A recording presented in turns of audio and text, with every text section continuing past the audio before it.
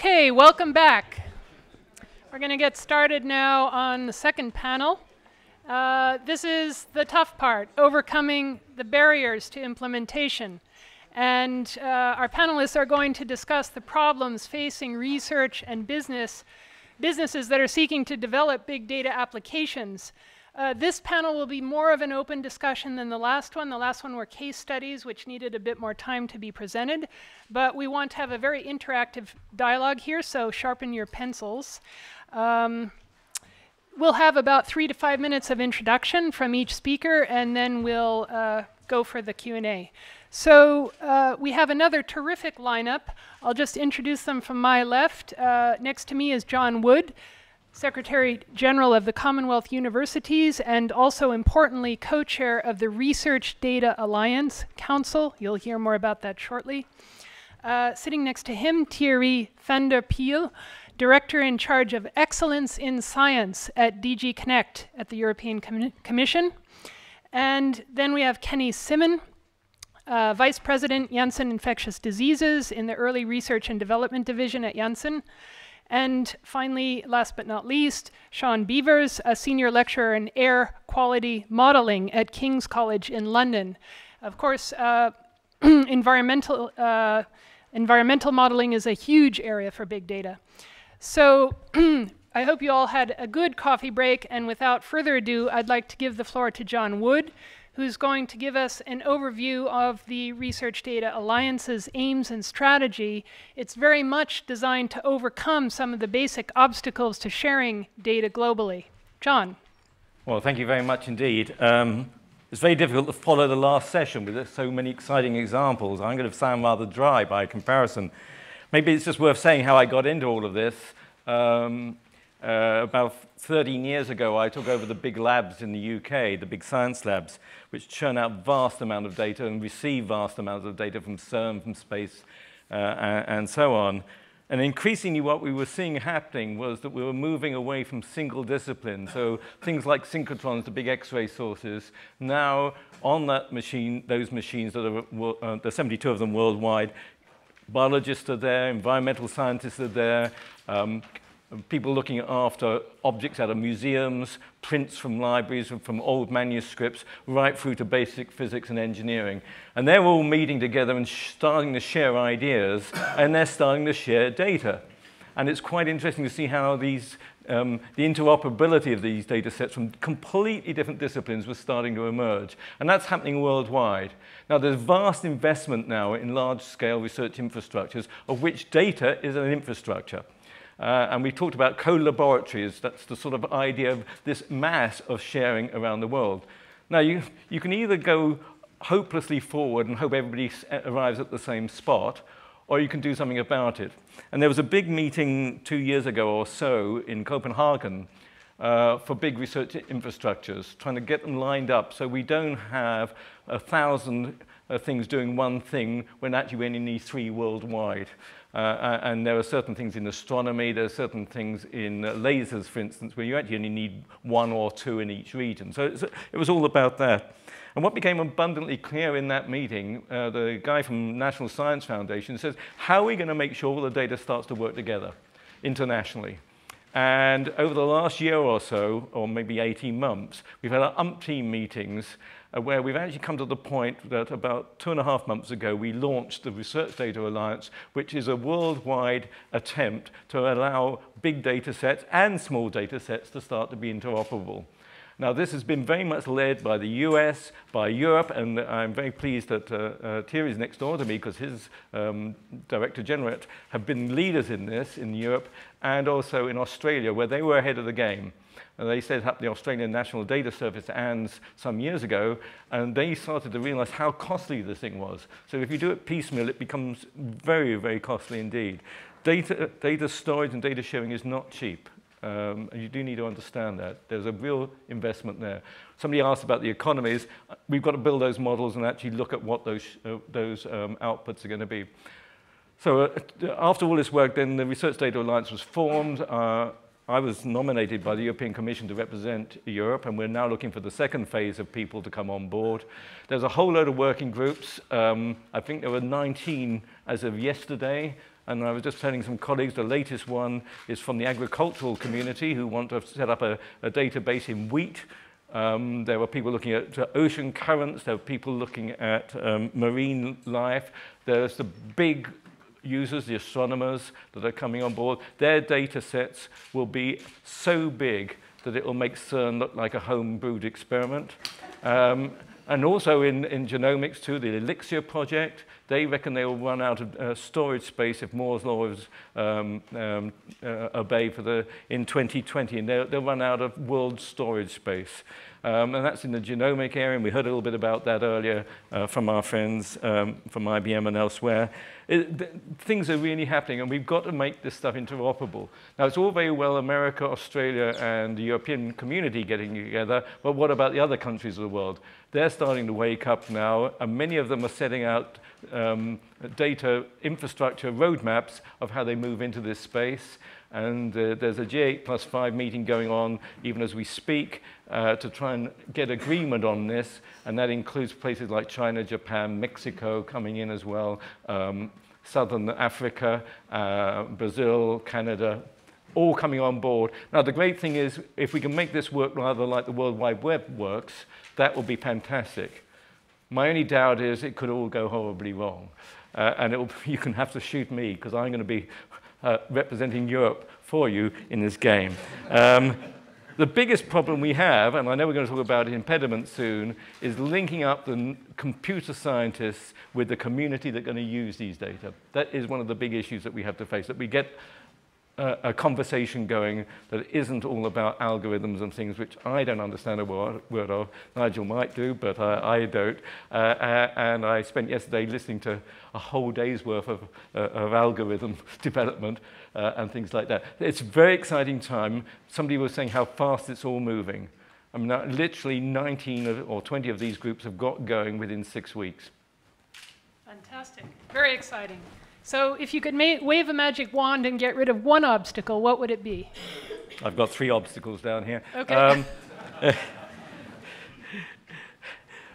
I think the biggest obstacle is actually in culture, if I'm perfectly honest. And I do actually think we need to get away from this idea, and I think it came up that maybe something that's right now is not necessarily right next week because things have changed. Um, I think this needs to, we need to start this data um, interoperability at primary school, actually, that we start to realize that there are not always right answers in these things. There is a, a changing dynamic. Uh, just uh, uh, when my children were doing school science in, in the UK system, it's GCSEs, they would come in because they, they knew I was a scientist. They said, Dad, we don't want to know what you think about this particular problem. We've got to learn the answers for the exam. okay? and they had school science and right science. And we've got to get back to right science, get to this imagination. And I think this thing about asking the right questions, uh, which Dan was talking about, is the key there, that we start asking the question. The question then is, how do you assess that? Or should you assess it? Because actually, an assessment actually kills off the originality. Mm. But I, I, could talk about publishers, and I could talk about academics and a few other things that get in the way as well. Okay. if anyone has a question, I'll um, take one right now just to kind of keep a oh, dialogue going. Anyone like to ask John a question about the Research Data Alliance and how it works? Um, it's, um, the, it's rd-alliance.org if you want to see it all. Okay, great. Um, people are still. I'm going to ask a question. Okay, oh, good. Hi, John. Um, a quick question for you. I'm Dwayne from Science Business, for those of you who don't know me. How, how would you implement the procedures and policies that you guys design? How do you see that moving through the pipeline and actually having an impact? I think the great thing about the Research Data Alliance is bottom up driven. So people who want to do it are going to do it. Uh, can I give you Wood's law of collaboration here, Dwayne? This is universal law, never been disproved. it's only based on the academic community. I've been an academic all my life. One third of academics love working together. One third can be bribed with money, and one third will never work together. Go with the third that are going to make it work. Well, what about the third who want to make money? Well, that, that's the EC problem. on that note, um, I'd like to uh, invite Thierry Van der Pyl to um, give us a perspective from the Commission on what you're doing to open up data sets to the public. Yeah. Thank you. I think uh, a lot was said already, uh, and I don't want to repeat. So let's say my role is largely on implementation now. We have two regulations directly related to data or to open access, let's say. The public sector information, which was uh, discussed and presented by uh, uh, Commissioner Neelie Kroes, which largely excludes education and science. And then we have the package on scientific information, that is a communication of what the commu Commission will, will do, and the recommendation, what we would recommend the member states to do, which is on scientific information proper. And here, it's very clear that the line which is promoted is open access to scientific information. Open access to scientific information has to be translated. So there are broadly two aspects. One is open access to publications, which is not the topic of today, but still relevant. And the other one is open access to data. And this is the tricky part at the moment. So the way we will implement, of course, the uh, scientific uh, information package is in Horizon 2020. It's public money, and it is expected that the benefit will go to society, but not only to society, also to business. So this is why it is pretty tricky to have uh, an open access policy. So what is being proposed in Horizon 2020, and this is under discussion, it's work, and I hope it's work in progress. So the first one is to make mandatory uh, open access to publication. So this is clear. On the data is actually to start what we did in FP7 on publications, that is to start with a pilot.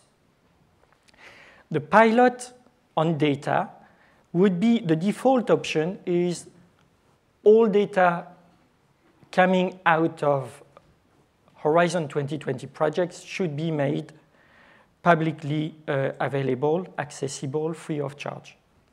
Now, we would do a pilot precisely to see in which area we could implement this policy, bearing in mind that the challenge is to find the right balance between the legitimate interest of science, I mean, good science, trustable, and also Uh, uh, being able to reuse the data, and the other aspect is we, and this is the red line, not to prevent any exploitation of results.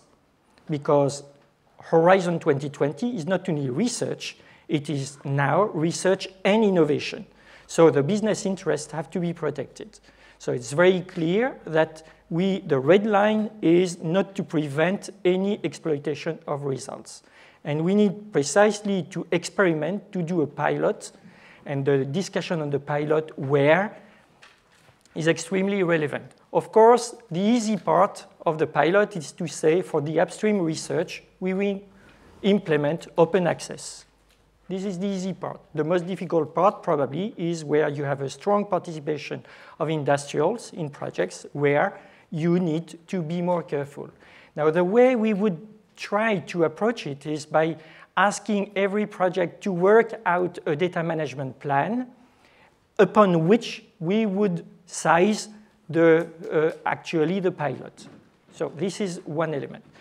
Now, to support uh, the uh, policy on uh, open access, we need an infrastructure because it's fine to say data should be publicly available, accessible, mine, mineable, if I may say. You need an infrastructure to do that. And this is, uh, in this area, we would have a strong action in Horizon 2020 on the so-called e-infrastructure. So one aspect is on uh, uh, data repositories, uh, data preservation, all the costs associated with that and the way to do it will have to be worked out, defining the standards, the metadata, and everything to make them searchable, mineable, and so on, and RDA in the, certainly in that context. The other aspect of infrastructure, which is also linked to data, is of course networking, so how to communicate data. So this is all our activities on uh, being leader in, in Europe, but worldwide now on uh, uh, research networking. And the third element is how to use these data. And we are shaping at the moment, it's being discussed in the council, uh, an initiative on high performance computing, and I may say that high performance computing is, uh, is not the right term because, I mean, basically it's not the computing. Really, what we are speaking about is data intensive applications. So, and this, in that policy, there will be a strong drive on uh, actually uh, defining uh, uh new tools for data mining uh, actually for data analytics. We need also, I mean, as, uh, as the, the, the, type of architecture to, to exploit the data is uh, going towards a, a, lot of parallelism. We need to rethink everything in terms of the way we, we, we design algorithms and methods. One element which is very tricky is by nature, e-infrastructure data is common across disciplines. And when we get the requests for support in Horizon 2020 or in FP7, it's usually very disciplinary. And of course, we do not want to reinvent the wheel every time. So the question is to have these various communities work together to find the leaders, to define what are the commonalities, and not to repeat every time what one has already solved. I mean, this is the best, uh, uh, I mean, we need to argue the case. We are, by the way, forced to do that because, I mean, of shortage of money, everybody is looking at money.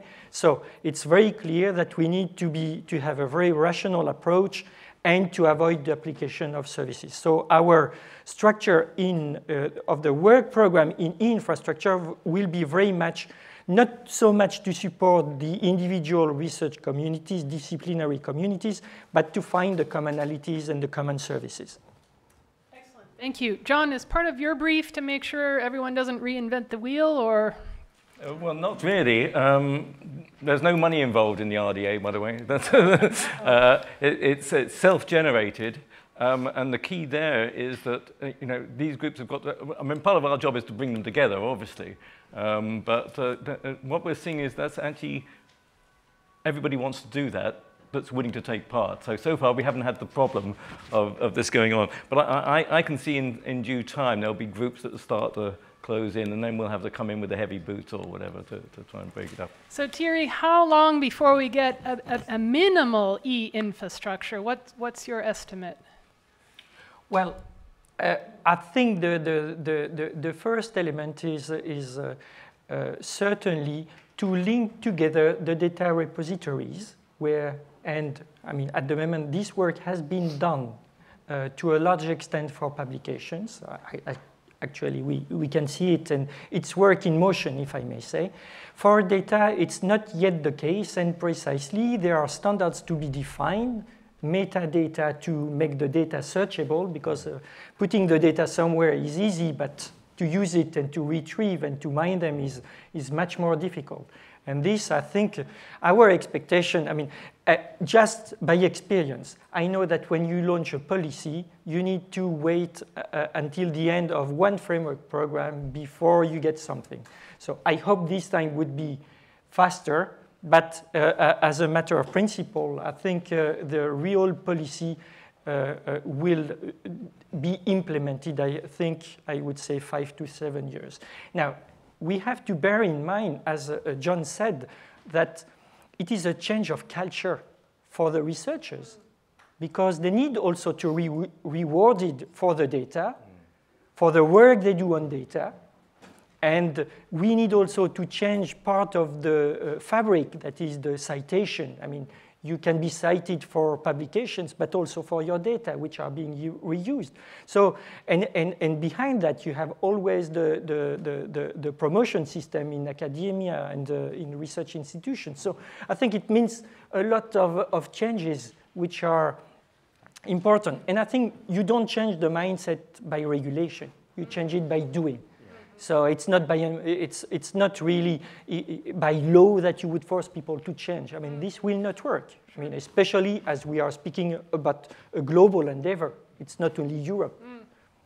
Does anyone have a question on the policy side for Thierry, right here? Wait for the mic. Thank you. Um, Professor Linson from MNLC Newport Network. On policy side, but um, it's a comment regarding Horizon 2020.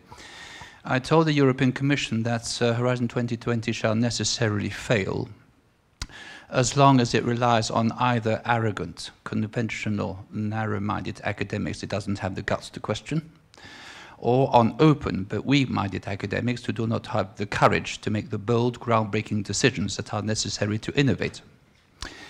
Uh, three days later, I received um, an email from a senior officer at the European Commission inviting me to enroll. So, and just to, um, I wanted to make this comment. Thank you.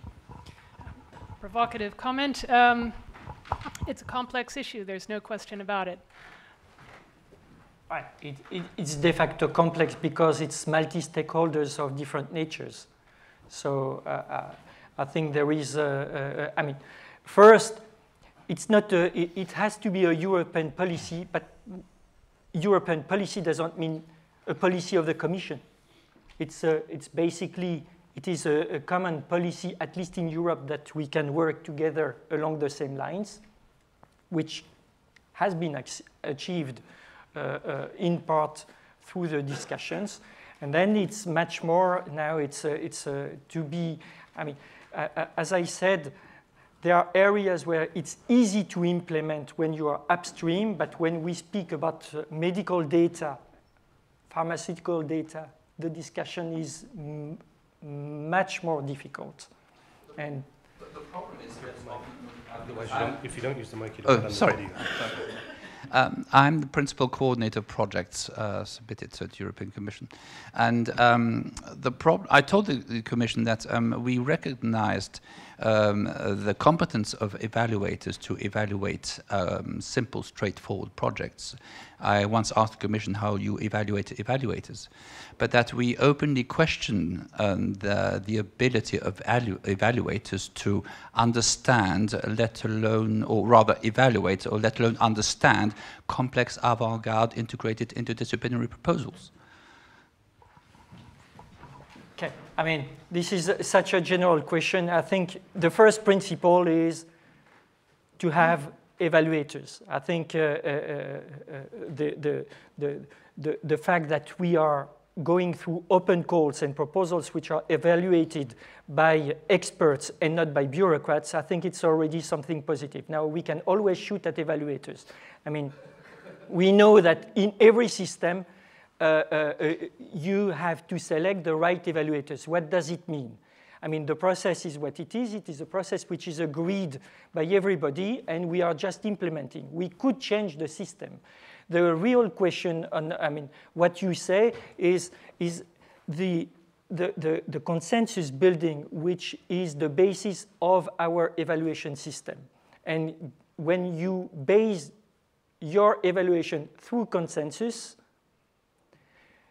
you probably do not take very high risks on some domains. And this we need to avoid because this is killing. I mean, at the end, if we take the average uh, proposals, we don't get innovation because by definition, innovation is something which is on the peak, not on the average.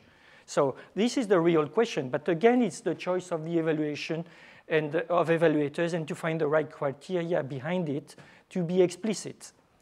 Okay, John, I think you wanted to take a shot at that. But, but, on this, prior to uh, this present role, I, I, chaired the European Research Area Board, and we argued and argued and argued that more risk should be taken. The key is to go and see the parliamentarians actually about this because they're voting the money and they're putting the constraint on these guys about what risk will be accepted. So that's where you need to put your effort. Uh, uh, I mean, I said 60% of uh, European projects should fail horrors. But actually, we've got to get that mindset in if we're going to move forward. And, and, and the guys in the commission know that. The guys who look at the bottom line don't know it. Okay, moving on. Uh, I'd like to give the floor to Kenny Simmen, Vice President of Janssen Infectious Diseases. Um, back to pharma, which holds a lot of rich uh, examples. Thank you, Gail. Um, thank you for um, stimulating discussions so far. Actually, let me just make a comment to the questioner from the floor straight away that actually um, I'm representing the pharmaceutical industry. I work for Johnson & Johnson, Janssen. I would actually beg to differ. I think the success of Horizon 2020 does not just depend on my uh, colleagues here in the panel, the academic community, but it also rests upon involvement of citizens, patients, small, small enterprises, and, and large companies like, like mine. So I think it's not just all about, it's not all about uh, academia. And I think to John's point about the reality check of being used to failure, well, welcome to my world, innovation in the pharmaceutical industry. Um, this is, uh, so let me make some introductory comments about, about pharma, um, and then I'll try and bring back uh, the two angles of uh, the, the, contributions of technology and the impact that big data is having upon our, our, our corner of the healthcare ecosystem. So I think, uh, obviously, from a, from a pharma perspective, there's an enormous amount to be very proud of in the last 100 years, the benefits to, to, to mankind from vaccines, the, the, the, the curbing of um, childhood diseases through vaccines, uh, innovations in cancer, in infectious diseases, um, the curtailing of the HIV pandemic, uh, at least for, for those individuals in the West who are, have access to medicine and who can take their medicine that's transformed HIV from a life threatening disease to a chronic condition if you have access to medicine. So we have a lot to be proud of, but there are enormous opportunities and huge challenges in front of us. Um, in addition to my role within uh, Janssen, I also have the privilege to sit on the research directors group of uh, EFPIA, the European Federation of Pharma Companies, and working very closely in the Innovative Medicines Initiative, which we haven't talked about today, which is a, an enormously successful and very large public private partnership, which was set up in 2008, 2009, with uh, 1 billion euros of, of Euro European taxpayers' money, matched with 1 billion euros of in kind contributions from the pharmaceutical sector this is an incredibly ambitious plan, and, and it's been actually now we just see it beginning to bear fruit. And it's relevant because it's also being teed up as a, the PPP model for Horizon 2020. So IMI 2, as Thierry knows. So there's been a lot of discussion around what is it that we're going to do in, um, in the future. Well, we don't need to look far for medical need and opportunity. Uh, if you think about in Europe with uh, you know, degenerative diseases, the aging population, psychiatric disorders, respiratory infections, which we'll hear a little bit more of, I think, as well. There are many, many conditions which, which are awaiting uh, better treatment and better um, intervention and disease prevention and, and, the maintenance of wellness. So there are, there are lots of opportunities, and one of the ways in which uh, the realization over the last decade for the companies has been that we cannot do this alone. As we heard this morning, most data lies outside of your four walls, and we are humble enough to realize that within uh, biomedicine. Also, that the best ideas are, are ideas which are shared and are already in existence. So, what is the, um, just to restate the challenge for, for pharma companies right now, the success rate for compounds entering the clinic to getting on the market is, is sitting around 5 or 6%.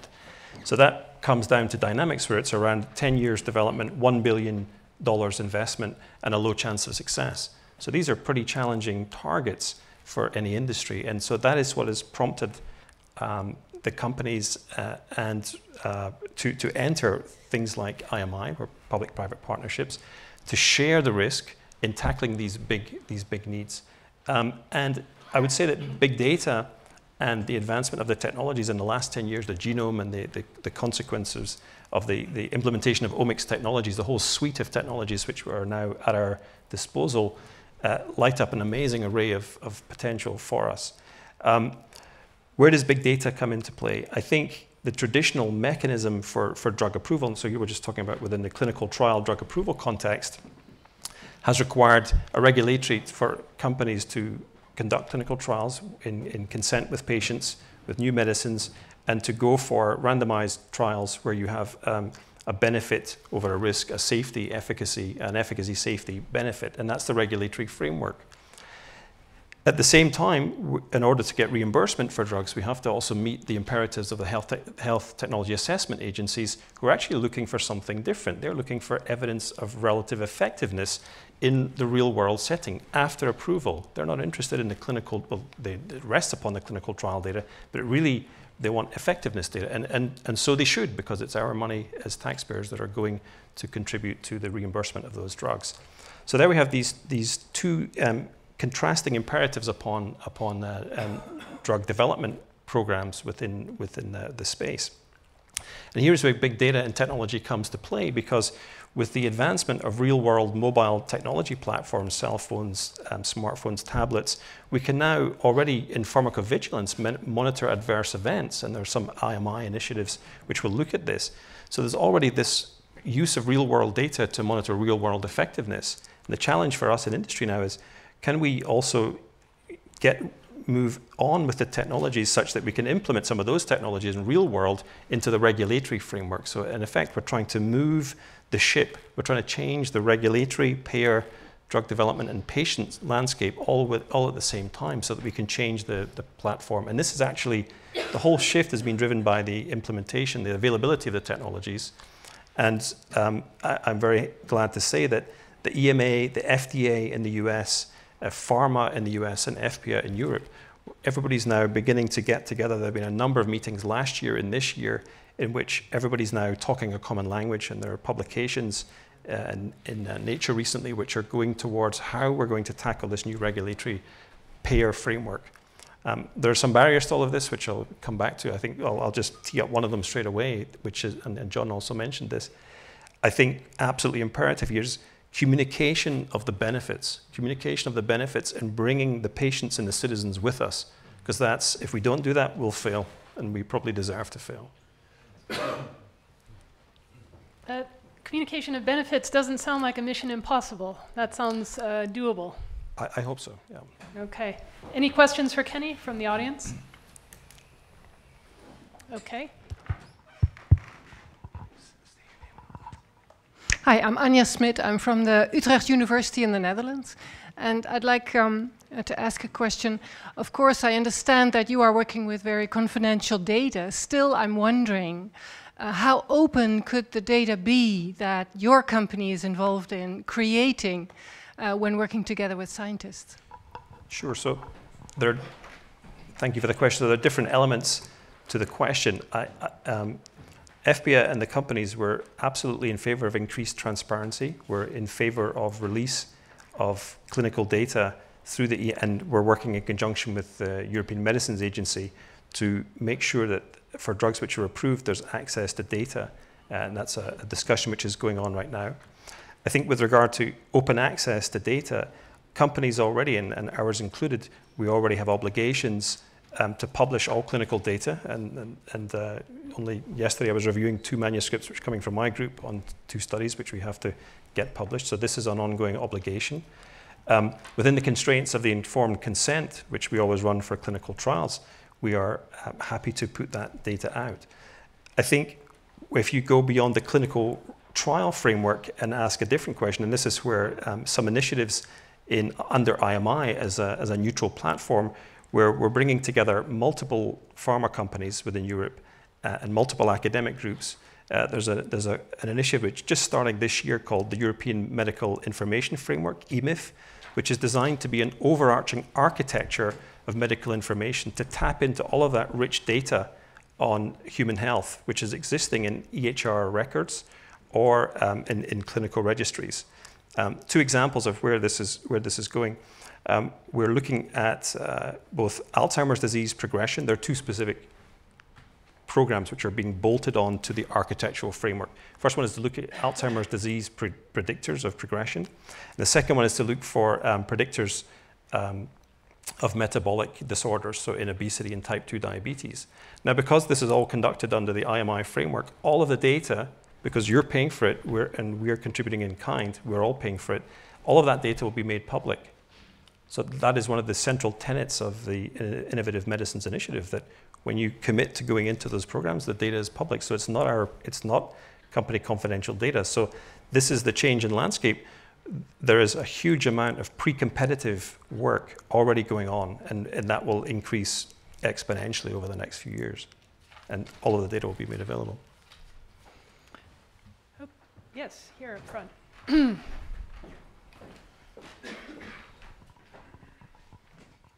Kenny, thank you very much indeed. It's John Parkinson from CPRD. Just interested in your views on adaptive clinical trials and adaptive licensing. So, indeed, the, the, the regulatory framework that I was referring to, which, which is the, the, the, current framework, is based on um, fairly uh, principles which have been enshrined for the last few decades of just looking for benefits on efficacy over, over safety. The whole concept of, of adaptive licensing or progressive authorization is essentially that, and this is again driven by the technology, the application of new technologies into a better understanding of disease classification. As we heard earlier, cancer is not cancer. There are 200 different types of cancer, so and there are spectacular examples of drugs which, when you target the correct population, they work extremely well. So that's a perfect example of where the desire to move into smaller patient groups and get the initial indication. This is exactly the, the, the the discussion under the, the topic under discussion right now with the EMA, FDA, and the pharmaceutical companies and patients.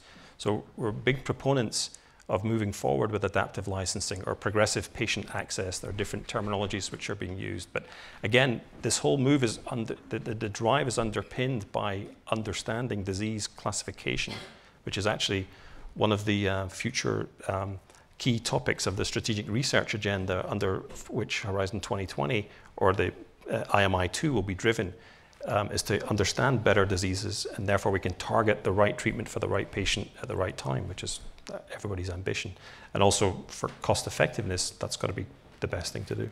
And is big data vital to moving towards those smaller patient groups, but having obviously a, a wide population of them? Absolutely. The big, the big data is essential and the real world data component. If one can bring real world data and bring the same, and for the, for the efficiency of the, of the, um, the process, if we can bring a single data package together, which will serve the imperatives of both the health technology assessments and the regulators, then our world, and I think your world, would be a better place. And what's the main obstacle to that? Um, that's a cultural, that's a cultural, historical, that maybe it's a, an element of turf. There are, there are different organizations representing health technology assessments. There are different regulatory groups. We need to take them on, a, on, a, on an EU-wide basis, on, an, on a, actually on a global basis. So in all the discussions we have, the FDA and the EMA are both involved, and there's a lot of progress. There's a lot of synergy across the Atlantic now in this. And is what Andrew Morris is doing in Scotland a kind of a forerunner for how you need to proceed? I mean, he's been also collecting these data sets and trying to uh, create standards that, that, that work for opting in? I think that data standardization, interoperability, uh, I could spend an hour talking about data interoperability challenges within one company. And so I can only imagine what it's like within one country and then across 27 states. I think we have our work cut out. Okay, very good. Um, I'm going to move on now to our final speaker, Sean Beevers, a senior lecturer in air quality modeling at King's College in London. He's been working on some complex models uh, that involve exposure to pollutants by location, which requires data inputs on how people are moving and where they're spending their time throughout the day. Um, over to you, Sean. Okay, thank you. Um, uh, thank you, everyone. Um, yeah, uh, just to give you some examples of the work that we're doing in London, really. Um, we, have uh, been undertaking air quality modelling uh, in London for, for many years, and, and primarily it's uh, revolved around policy, so developing things like congestion charge, uh, low emission zones, along with our partners at TfL and, and uh, the uh, Greater London Authority. The aim, of course, is to meet EU li uh, limit values for air quality and also to improve people's health. So um, uh, of course, being a modeler, no one ever believes what you say. Uh, so so uh, the, the, there's a few choices um, uh, of what you can do about it, and one of the things has been uh, utilising big data. So uh, but by incorporating more measurements, essentially, within our models, we, we, we, can, we can hope to improve um, our predictive capability. So things that we've used within our emissions model, road transport is very important in London, is um, We've used GPS to track vehicle speed so that we, we, we know a little bit more about what um, the, the congestion of vehicles within uh, the area. We use automatic number plate recognition. So there's a lot of these cameras around in London. They, they uh, uh, look at your number plate and they, and they, they can show uh, uh, what kind of vehicle it is, what Euro standard it is. Uh, we, recently, we sort of uh, moved that on so you can actually uh, uh, use that sort of information with uh, it, data sets that give you much more about the vehicle technology, which I think will be important for uh, not only for, uh, for forecasting uh, air pollution emissions, but also things like climate change going forward. And these are critically important for, for, for getting the emissions and the air quality modelling right. Uh, uh and increasingly we're using roadside measurements of, uh, of vehicle emissions as well. Uh, and these are important because a lot of the emissions models that we, we've been using uh, are based on a, a, a, a sort of fairly limited number of tests, often for some vehicle types. And these, uh, these roadside measurements, you can test thousands of vehicles, you can do it every year, uh, and you can get a lot more detail about uh, the actual vehicle. And, and it, I think ultimately it'll lead to better uh, emissions inventories. Um, uh, and and uh, wh why do we do all of this? Well, obviously we want to get our modelling right, but uh, air quality policy is a very long-term thing. Uh, you know, you wanted me to standard by such and such a day. It may take five or 10 years to, to achieve that. Uh, if by year six you've found out that your policy is not really working because you got something wrong when you forecast uh, using your model, you're, you're in real trouble because uh, you, you've now got to come up with a new policy and it's going to take another five years uh, and, and consequently it sort of spirals into the fact that you failed to meet a, a particular standard. Uh, and there are discussions going on in the UK uh, to that effect for NOx uh, right at the moment. Uh, so, so that's one of the things that we've done, and we try to incorporate um, large data sets into our models. But we're also interested in epidemiological research. So we've, we've been looking uh, with, uh, with our colleagues who, who deal with air quality and, um, uh, and health outcomes. Uh, and, and we've been using our models uh, at postcode level, essentially, uh, to look at uh, certain outcomes. And I made a list of them because I, I, I can never remember all of them. But the, things like uh, our, our recent uh, work with the uh, MRC NERC funded project Traffic, uh, look, look at child uh, um, child lung function, cardiovascular risk markers, primary care consultations, adverse reproductive outcomes, hospital admissions, acute coronary syndrome uh, um, and mortality. Uh, and those are the things that they're, they're trying to associate with air quality. And, and, and rather than forecasting future, which is what you would do with policy, you forecast years that have gone by and then they take data sets and join the two. All of this, uh, I might add, is anonymized and we use trusted third parties and so on. What, what, what, where this is. Getting the data, getting your hands on. The I wouldn't say no trouble. I mean, uh, from uh, the policy air quality modelling side of things is easier than the um, the epidemiology and health uh, uh data, uh, which is much more much more difficult, uh, and they have to go through uh, numerous ethics approvals. But you got it. Huh? You but got we it. go, yeah, yeah, yeah. Well, well I didn't, but somebody did, and you know, it's a, it's a lot of work for them. So I, I can talk very in a very blasé way about it. Um, and, and I might add as well, that uh, ethics is a, a really important uh, um, uh, contributor to all of this and, and the safety of the actual data itself, because uh, I mean, two of the things that researchers uh, um, uh, are required to do as part of their jobs is to publish uh, in good, you know, good journal papers uh, and to and to get funding. And without ethics, you get neither. So uh, I mean, it's a real, it's a driver for for the protection of data. So, uh, but anyway, um, within epidemi air pollution epidemiology, we um, often the exposure to air quality is associated with um, the, the location where people live. Now, now obviously, we, we're not at our homes at the moment and, and we've travelled here on trains and, and various other ways and people travel around generally so we're, we're, the, the way in which we've tried to uh, uh, use big data to improve that is we, we now have a, a data set again that we got from uh, um, uh, Transport for London who used it for um, uh, transport planning uh, of where people uh, spend their time where they move around how they, um, the transport mode that they use, when they use it, be it the tube or the bus, in the car, walking, cycling and so on. Uh, and combining that with a much more detailed model which does sort of 20 meter resolution spatially and one hour uh, temporal resolution. So, you, know, for each pollutant for each year it's, you know, 70 billion records just for, just for that. So you can see that these things are, are, are quite data intensive. Uh, and, and that's to avoid the potential pitfall of some of the epidemiological research in the past which has, uh, has a exposure misclassification. So you, we're not classifying people's exposure properly. And then when you look at the health outcomes, are are you really uh, associating the two in a, in a, in a proper way? Now, th this obviously gives us quite a lot of scope for problems. And I, I, so I've noted down some of the, the problems that we have for big, uh, big data concerns, really.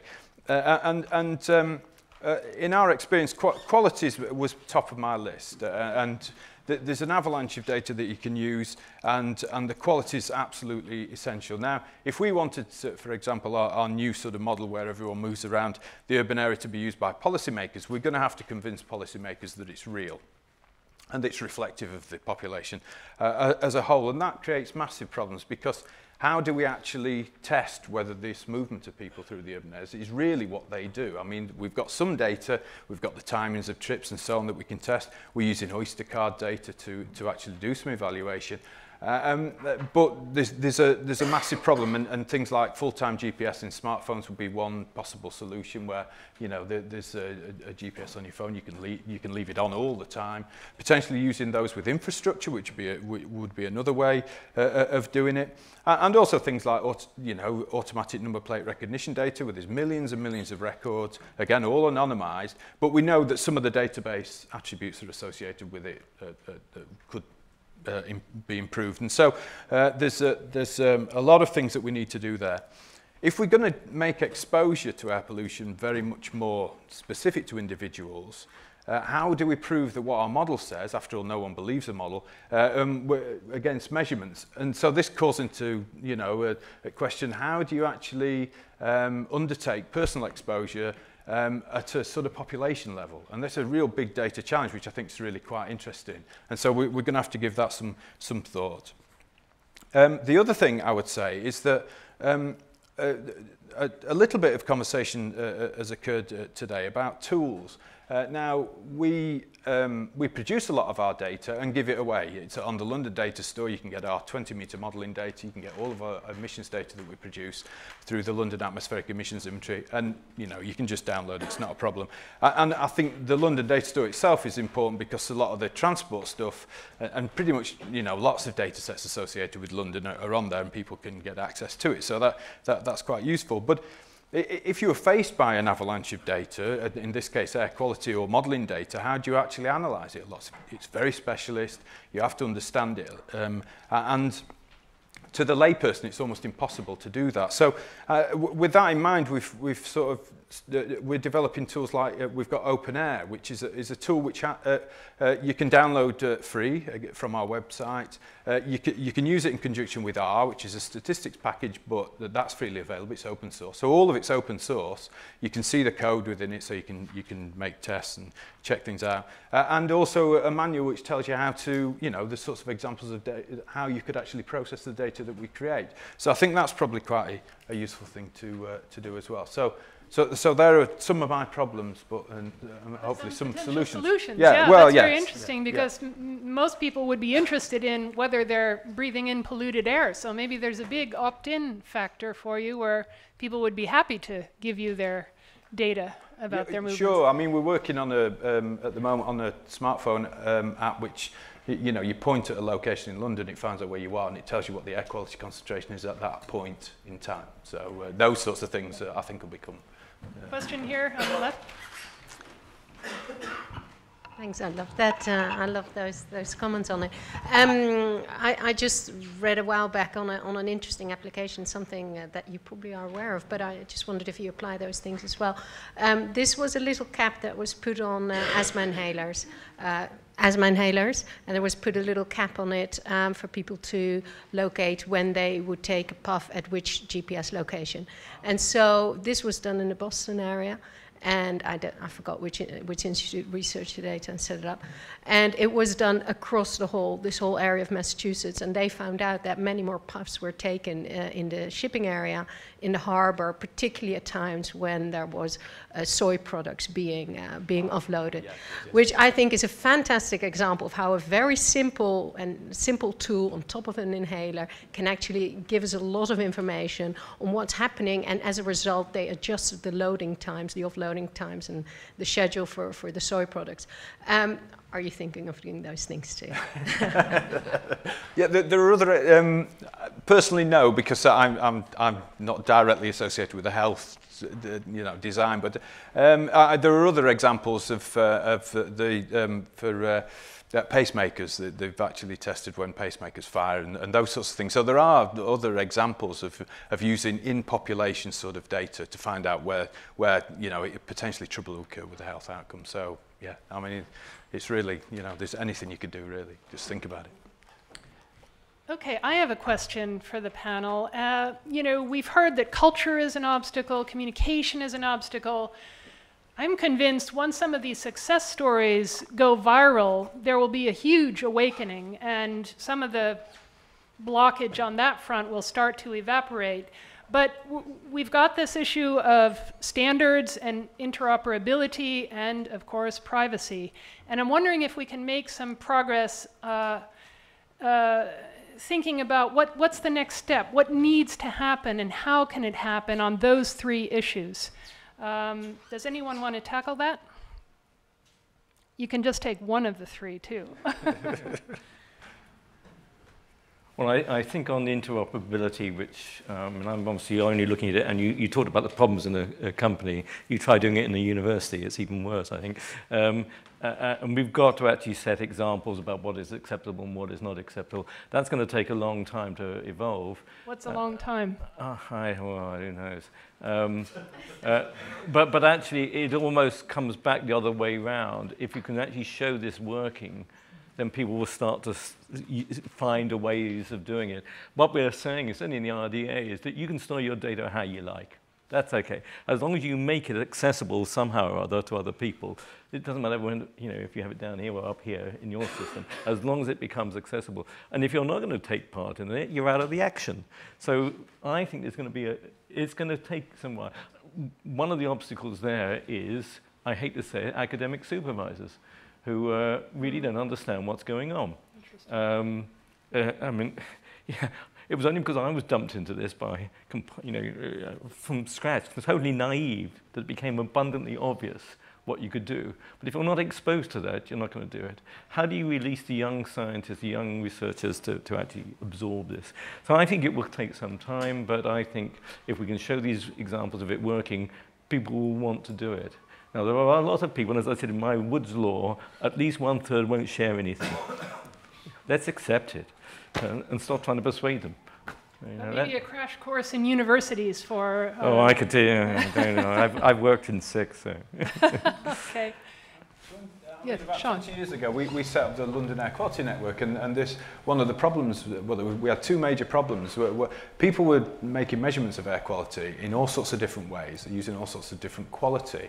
Um, and um, And also the data was kept in sort of proprietary software, which was designed by the people who sold them the instruments to do it. And so what, what the things that we did was we actually went ahead and wrote a manual saying, look, if you're going to measure air quality, measure it in this particular way. If you want to measure the road, measure it like this. If you want to measure it background or suburban or rural, measure it in this particular way make sure the quality is right, so ensure that your QA/QC functions right. And then we we developed a thing that we called Monet, which basically contacted each of these sites and um, and parsed the data from all sorts of different formats into just a standard format, and then just handed it out so you can get it on the uh, on the web. And that's uh, you know 20 years later we're still around so i mean it can't have been that bad i suppose uh, so, so i mean that's how uh, you know our, our our sort of solution i suppose to some of those problems is it can be overcome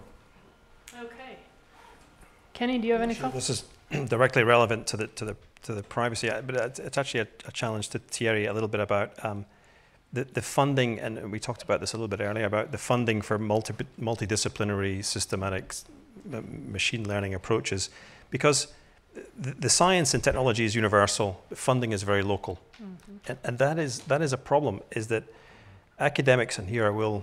I mean, I was an academic. Uh, um, academic scientists, there is a tendency to, to go safe. If you want, if you look at the kinases, for example, in the human body, there are, there are over 500 kinases. The vast majority of publications and grant money is on 10% of them. And, and, this has been published uh, and, and, and, promoted by a number of a number of groups, and it's been widely seen. And then, if you actually look at the, and sad to say, company activity, company investment, ten years later in company patents follows the same pattern. So you're neglecting a vast majority of potential genes which could be involved in human disease. But it's, it, it's nothing to do with privacy, but it's something to do, it's a challenge to how we, in Horizon 2020, I think, open up and try to move scientists from a, a very local perspective to a more a perspective on funding which matches the globalization of the science. Slightly different angle. Comments, questions? Here's one in the front. Uh, hello, my name is Elena Dybtsina and I'm from Research Council of Norway. And I have a question to the panel. And uh, do you think that um, uh, quality assurance of the data isn't an obstacle? And how we will decide like this data is old-fashioned or up-to-date that we are using, especially when it is in data depositories or something like this? Well, there is one aspect uh, in this uh, question is is, I mean, it's not enough to store data. It's to store also to have access on the way they were collected. So in fact, there is also one step further that, uh, I mean, if you go very far, you, you have also the tools and methods uh, on how the data would be processed to get results. So it's a whole process which has to be more transparent and that uh, uh, there is an aspect which was mentioned in the previous panel is uh, accountability. And uh, um, then uh, uh, also in the academic world, I think if we do not provide the right incentives to the researchers on, let's say, the data quality, on the need to uh, clean their data, to maintain their data, we will go nowhere. I think there is a process there. If there is no reward, it's not by imposing regulation that which you will change anything. Well, so, uh, who, who should impose that quality control, Thierry? Well, uh, I think first, I, the best quality control is by the citizens at large. By it's, it, it, it, it's uh, I mean, citizen when I say by peers or uh, exposing the way you collect data. Mm. I mean, and this is precisely also one, uh, one element of uh, uh, you need to open, to give access to your data in order that also the underlying assumptions you have made can be checked. Mm. I mean, all that is the full process.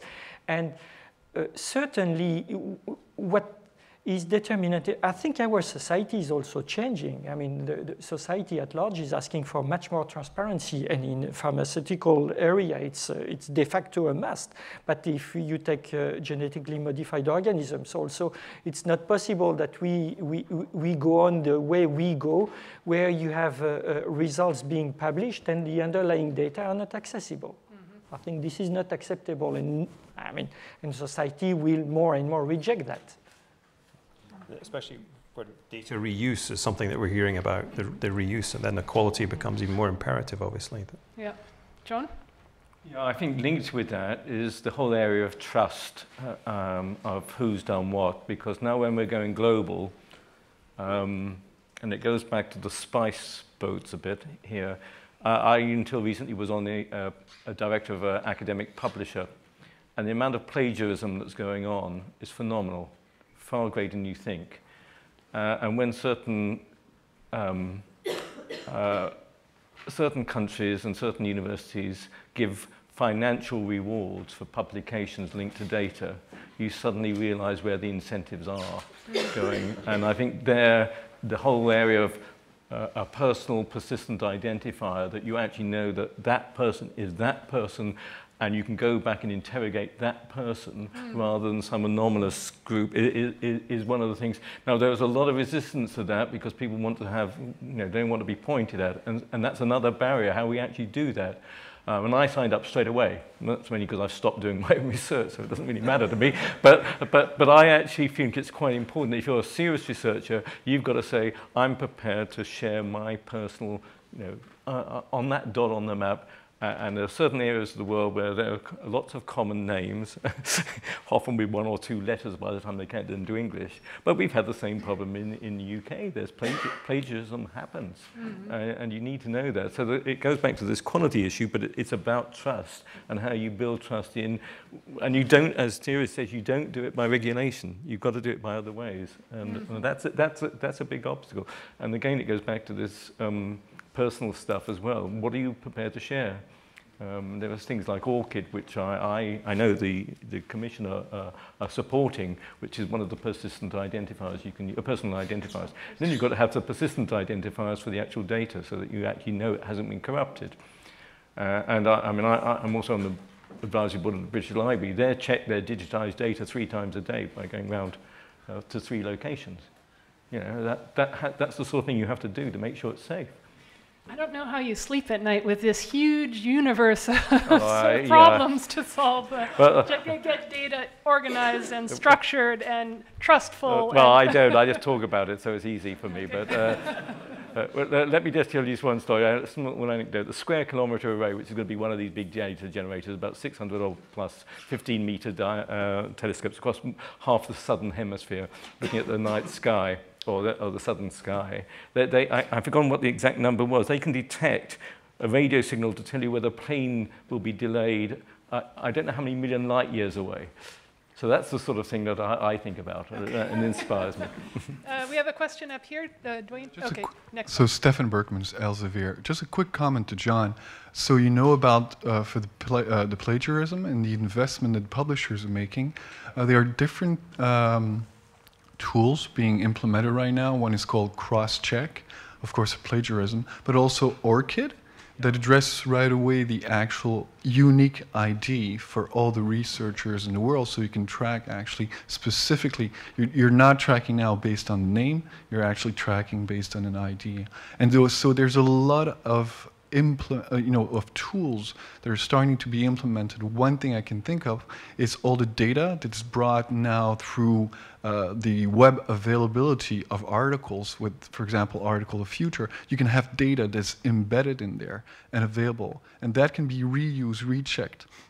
And there's a new development coming that's going to be really interesting where you can actually start playing with the data and change it to see and adapt it to your experiments and, and play with it and see graphs, etc., changing based on that. So I think that's going to be very useful and quite, quite important for quality, actually. Yeah, I, I, did. I was just talking about ORCID, which I do believe in quite a lot. Uh, and these software tools are being developed, but even so, there are still quite a lot getting through sometimes. Um, uh, but I know what Elsevier are doing, as you know. I, uh, in fact, yesterday's meeting was about publishers and data um, in, in, Oxford, where a lot of this stuff was being discussed. I think we've got a long way to go, but it, it's certainly one of the big issues, especially in certain countries which have got monetary rewards based on the sharing of data. Down in the front, Dwayne.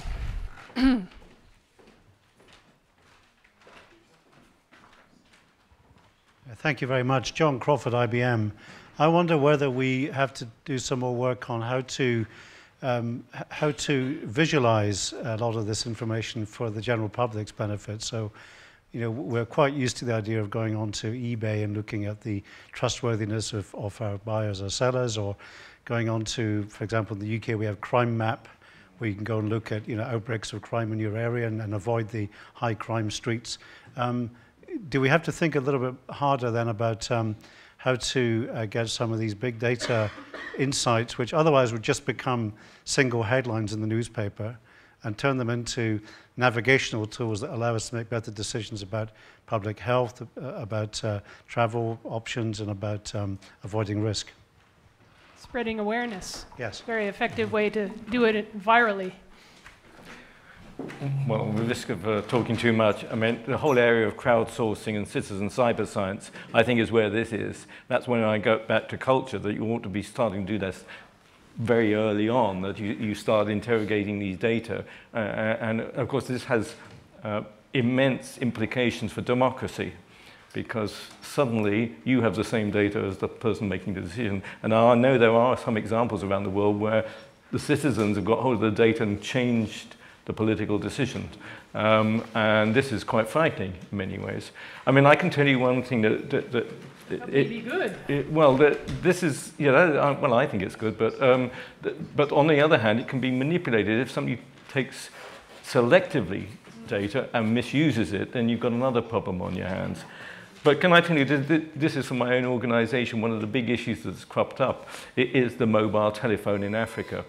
Um, in that if I tell you in southern South Africa, only 30% of the academic staff have a PhD, and by the time you get to Malawi, it's 4%. Students are accessing data on their telephones during a lecture and asking questions to the, to the academic who can't answer. And that is actually proving a big social issue. So there is another side to it. Um, but I think I think it's a very exciting thing. Um, I think we've got a long way to go, but I, am with you here. The more we can get this is part of the cultural thing. Um, but you know how certain newspapers take certain data and manipulate them, and it's a very, very big risk. I think in medicine as well, that information asymmetry now for mm. the well-informed patient going to his mm. physician, usually armed with more information on that on, on his or her specific condition, and and that is fundamentally going to change the, the course of medicine and, and, the, and the practice of, of medicine. That's I'm taking Watson sure. with me next time. Watson. Okay, we're up in the last five minutes of this panel session, and um, I'd like to give anyone who has a burning question a chance. A quick question, please. One in the front row here and one in the back. John Parkinson, I just wonder whether you'd make comment on the fact that there seem to be certain data protection commissioners over Europe who have a very enlightened attitude to this all, in that there are two sides to data protection. There is one protecting the individual, but there's- also, related to data hugging, groups of people who prevent the use of data by saying, I can't do that under the Data Protection Act. And some of the commissioners have uh, at last come out and said that is just as illegal as misuse of the data. And I think it's something we should be congratulating those particular ones for doing, and I'd like your comments. Thank you. Good point, thank you. Well, one can't but accept that as, as a great idea. Yeah. There was a question uh, there. Just comment that unless you make the, I mean, I'm talking about uh, data generated by human beings, unless you make the person who generate the data a stakeholder of the outcome of those data, big data analysis, you can go on cleaning and cleaning and looking for provenance, but it doesn't change the fact that the human who's generating it could really be one having incentives to generate garbage. For example, I work with a few startups who's absolutely wanting to help me make sure that Google gets garbage. And they tell me, make sure you do crossword puzzle and search for your answers on Google. Then they don't know what you're really searching for because you're searching for crossword answers. And they come up with all sorts of tricks to teach us how to create gar- garbage in terms of data. Now, this is only a very small bit about Google search and things like that. But unless someone tells me who's generating data that there is, I have a stake in whatever that's going to come out of my data through the long tail, etc., etc., we can spend a lot of money cleaning and looking for quality. Any views on that? I, I think the first thing is that um, you're not going to prevent misuse. You've got to accept it. One, one thing I went on many years ago about, for, um, uh, uh, about I'm a material scientist, uh, about the um, fraudulent use of materials was that I didn't think like a, a criminal. And I think actually we start to do, uh, I'm sure in IBM they have people who think like criminals to, to actually think through what, what can go wrong. Um, on the other hand, no, that is not the reason for not doing it. You- Otherwise, we just stop living because. Uh, you know, uh, uh, but I think there will be lots of things we haven't thought about which will come about as a result of all this, and we'll have to look at them when we come along. I, I could not believe when I was in charge of the Rutherford Appleton lab in Oxford how many hits on our firewall a day there were from people trying to corrupt data. And a lot of that was structural biology data. And I used to say to vice chancellors, if that data is corrupted, and you are personally responsible for it because the, the, the conditions of the grant are that the university is long-term responsible for these data, and a drug company uses those data to do some field trials, and you have thalidomide on your hands, what are you going to do about it? I, you've never seen so many faces go white when you say that sort of thing. But I think those are the sort of things we need to start thinking about because I'm sure a drug company wouldn't just take the data and use it like that. They, they would interrogate it and go further. But uh, there are certain things like that. You can just see worst case scenarios. And I think we need to look at those as well. Um, but I don't, I don't think like a criminal, so I'm not so good at thinking about it. Yes, Kenny. To go back to the, to the second last comment, um, and, and try and strike that balance between the, the, the, the rights of a private individual and the, the benefits of population data. And, and I think it speaks to some extent to the, to the, the contentious right to be forgotten. Because uh, as, as Andrew Morris mentioned uh, earlier, I think we have to be we have to raise to the awareness of the Commission the potential unintended collateral damage which can happen not just to individuals. Take, for example, an individual who opts, who, who takes their, deletes their data, and then there's a, a car crash or something. Then, then there's a situation in which the healthcare providers cannot provide the right access. They cannot provide the right treatment. They don't know the, the medical history of the patient. So I think the public needs to be reminded of what that consequence could be, number one. And then maybe more from a, a, a the perspective of, of, of drug development and the pharma industry, I think also this really uh, impedes the potential benefit of longitudinal studies. Uh, some of the things I talked about under EMIF, these longitudinal studies looking at obesity, looking at uh, Alzheimer's and disease reclassification for ultimately a better targeting of, disease, uh, of, of, medicines. If uh, people delete their data, then we lose, the, the, data richness goes down and down and down if, if all of that is taken out. And the second unintentional potential collateral damages over restrictions on the use of pseudonymized data. We want to make sure that anonymized data and, and pseudonymized or key coded data are not subject to the full panoply of restrictions because the key coding should, protect, should be sufficient protection in itself. So there's just a couple of things which I think there uh, really need to be more put into the public domain. Okay, well, we're just about out of time. I'm sorry about that, but you may also continue your discussions in the uh, cocktail reception that follows. And I want to thank our panelists and maybe ask them one last question, which is it has been a broad ranging discussion, but if you have a kind of a takeaway thought on the obstacles and perhaps solutions for uh, big data applications, what, what would that one uh, takeaway thought be? Maybe starting from Sean's side of the table. Oh, can we start the other end?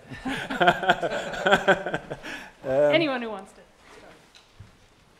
I mean, I mean, it opens up a, a massive, massive potential benefit for, for, for all of us, really. And I think probably um, the thing that's going to limit um, uh, use of a lot of this data is um, a lot of people's imagination and how you actually go about using it.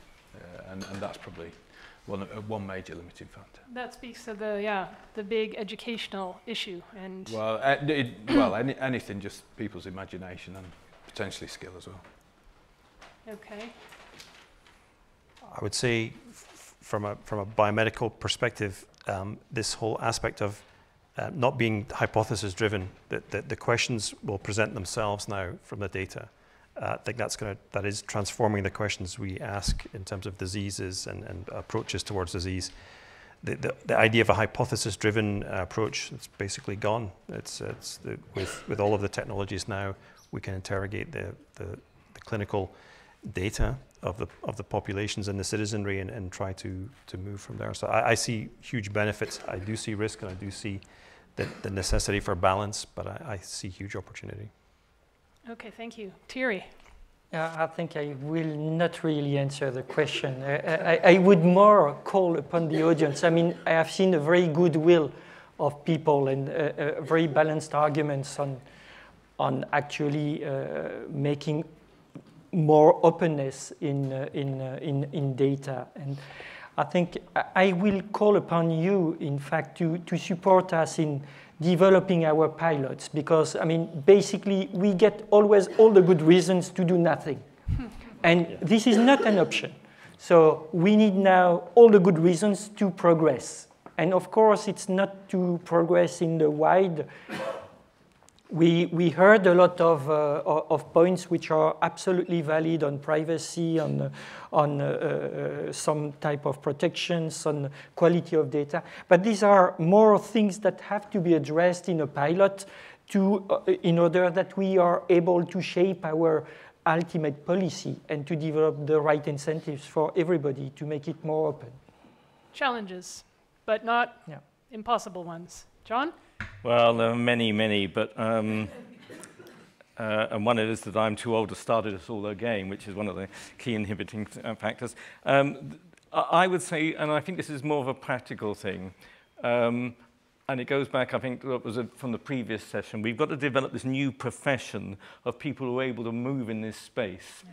Now, in our report, Riding the Wave, which we did for the European Commission, we, took, we call them data scientists. One thing is that and I, I love librarians, but they're not librarians, and they're not the researchers. They're people who are innovators in this new space. Um, one thing, uh, it, uh, we had a meeting a few weeks ago in the UK about funding in this area, and all these universities came along and said, yes, we, we, we, we, we've got the data management plan now. And I said, but what are you doing with it? No, no, we've got the data management plan. Uh, and I, I said, and I said, why are you doing it? That's because research councils have told us to. And you think, and I said, look, this is about a new exciting way of doing science and doing innovation. And there's a sort of blank look. No, we've done the innovation, you know, the, the, the management plan. Uh, we've ticked the box. We've put it in a box, and it's okay. uh, and, and I don't know how we train these people and how we actually reward them. And I think that's going to be one of the key issues because they're going to sit uncomfortably within the normal academic environment. That's for the academics. I don't know whether they sit well within the, the, the, the um, industrial environment. That's another matter. These people are going to be very difficult to manage. I hope they are anyway. Okay, well, a big round of applause. Thank you all very much.